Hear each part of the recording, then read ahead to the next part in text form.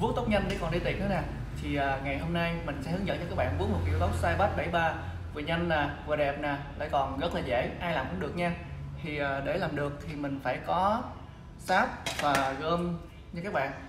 Thì à, kiểu này mình sẽ không cần à, lượt tàu kiểu hoặc là máy sấy gì hết. Thì à, đầu tiên các bạn sẽ chia một cái đường từ ngay đuôi chân mày của mình chia hẳn ra phía sau nha. Rồi sau đó các bạn giữ một bên lại lấy một cái lượng bắp nhỏ vừa phải. Xoa đều lên tay của mình.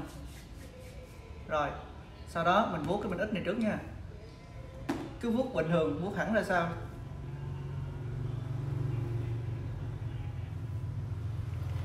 Rồi, tiếp tục mình lại lấy một phần vừa phải nữa. Vuốt vào phía trước của tóc. Tập trung vào đây nha các bạn.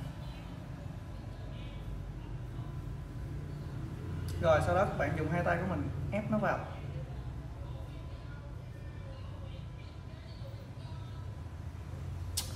Quá là nhanh luôn. Đó vậy là mình đi chơi được thoải mái nha các bạn. Tóc của mình thì không có uống cũng không có sấy tạo kiểu không có dùng lường máy sấy gì cả.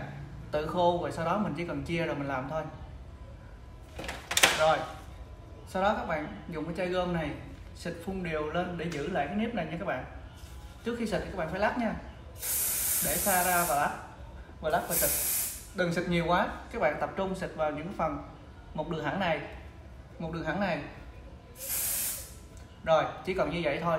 Rồi phủ đều xung quanh. Các bạn mà xịt nhiều quá thì tóc của mình nó cứng, nó mất đi cái độ tự nhiên và bồng bềnh của cái tóc. Thì tóc mình nhìn nó tự nhiên các bạn nè. Nó còn rất là mềm, nó không có bớt cứng lại. Thì lúc nãy mình dặn các bạn là chỉ vuốt, tập trung ở đây thôi. Đừng có vuốt hết cái tóc của mình, mất công lắm. Vuốt hết cái tóc nó bớt lắm. Rồi sau đó các bạn chỉnh lại theo ý thích của mình. Các bạn thấy nè mình đã vuốt xong một kiểu tóc rồi. Nghe các bạn nhìn. À, thì phần bên đây nó sẽ vuốt hết ra sau còn phần này ấy, thì cái mình sẽ để rủ lên phần trước. Thì một số bạn nếu mà thích có phong cách mà nó độc lạ hơn á các bạn đẩy cái phần này cao lên. Đó. Như thế này các bạn xịt rơm vào.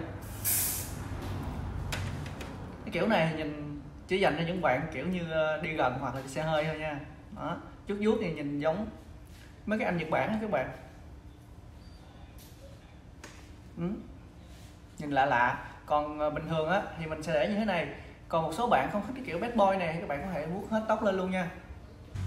Ok, thôi mình cũng tới giờ đi tiệc rồi. Đi lẹ nha. Vuốt có một xíu à.